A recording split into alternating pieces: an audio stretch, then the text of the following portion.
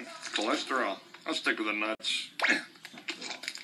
I don't know what his problem is, Penny. He's 11, but he's still roaring at a nine-year-old level. Botheration. Well, maybe you're setting the bar too high. And with all those stories about Samson. Hey, he's always loved those stories. They inspire him. Okay, okay. I'm not going to argue with someone who used my tail as dental floss. Oh, Sammy, you got something right there. Where? No, no, other side. Here? Oh. Oh, sorry, Penny. You got it.